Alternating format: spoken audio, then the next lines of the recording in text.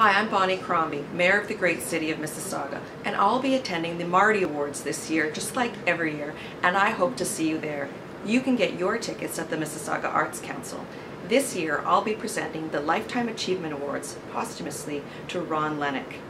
So I hope to see you at the Martys this year.